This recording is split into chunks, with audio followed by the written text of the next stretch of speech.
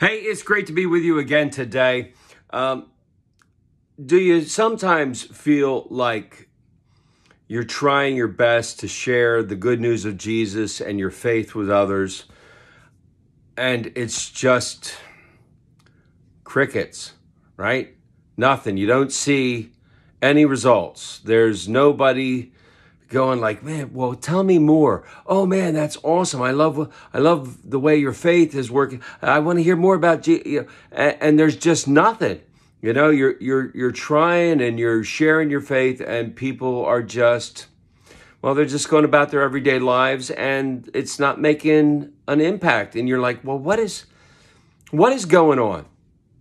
And here's the thing: I don't want you to get discouraged, because just because nothing's happening doesn't mean nothing's happening, right? Sometimes stuff is going on behind the scenes that we don't see, that we don't know about. We don't see what is going on in someone's heart. And I'm reading scripture this morning, and uh, a guy goes out and he, th- he throws seeds, right? He's sowing seeds, and uh, some of it falls on the path and the ground is hard and the seeds can't take root and the birds come and eat it and take it away. More seed falls among the rocks and it starts to grow, but there's very little moisture and it withers up and it dies really quickly. Some fall among briars, right? And it sprouts up, but then the briars entangle it and choke it and choke it out and it dies. But some of that seed falls on fertile soil and it produces an incredible crop when it grows. Now, that is the way that it is when we share our faith, when we share the good news of Jesus, right? Sometimes it just bounces off people's heads and they don't want to hear anything about it. Sometimes it kind of gets in there and they, uh, uh, but then, mm, nah, not so much.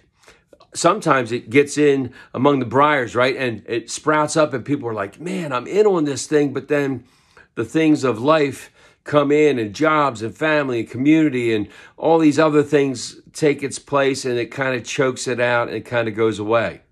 But then sometimes it falls on the hearts of those who are ready to hear it.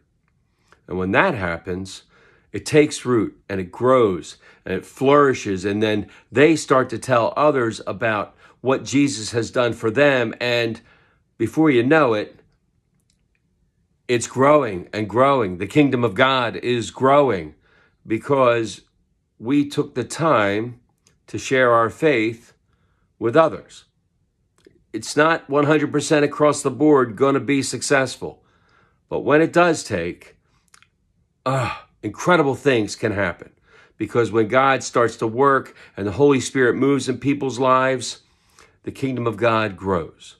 And it all comes from just sharing our faith with others.